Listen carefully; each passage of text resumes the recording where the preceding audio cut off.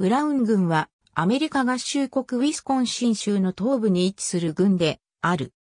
2010年国勢調査での人口は24万8007人であり、2000年の22万6778人から9.4%増加した。郡庁所在地は州内第3の都市グリーンベイ市であり、同郡で人口最大の都市でもある。ブラウン郡はケワニー郡、オコント郡とともにグリーンベイ大都市圏を構成しており、その人口は30万人を超えている。ブラウン郡はクローフォード郡とともに1812年にミシガン準州議会によって作られたウィスコンシンの当初の2郡の一つであり、その郡域は現在の州の東半分に及んでいた。その後分割を重ねて現在の領域になった。軍名は米英戦争の時の軍事指導者、ジェイコブ・ブラウンにちなんで名付けられた。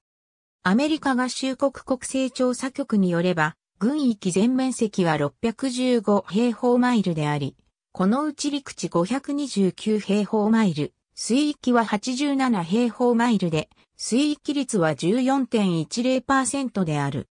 ブラウン軍隊駅兵記念アリーナ、人口ピラミッド以下は2000年の国勢調査による人口統計データである。ブラウン軍の立法府は26人の委員からなる軍政委員会である。各委員はそれぞれの選挙区を代表しており、任期は2年間、選挙は多摩数年の春に行われる。軍政委員の5選により、議長と副議長が選ばれている。ブラウン軍の行政府は奇数年の春に選挙される軍執行員が長になる。軍執行員は軍政委員会の承認により部門の長を任命する。その他にいくつかの選挙で選ばれる役人がおり、これらはウィスコンシン州憲法の定めによっているので、憲法の役人と呼ばれる。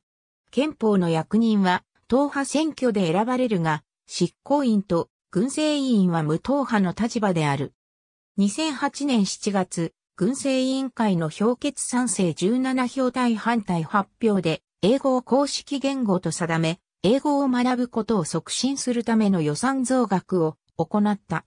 軍政委員会はすべて白人で構成されている。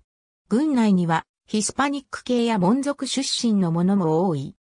軍政委員のジョン・ベンダー・リーストは、これが我々の公式言語であると言っている。これが信じるものであり、英語を奨励すべきである。と語った。